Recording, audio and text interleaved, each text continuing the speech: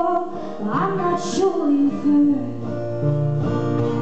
Do you notice the joy you bring? The Father says the devil lives inside the songs you sing. There's something in the way that the sin sets people free. The world least I'd be lying.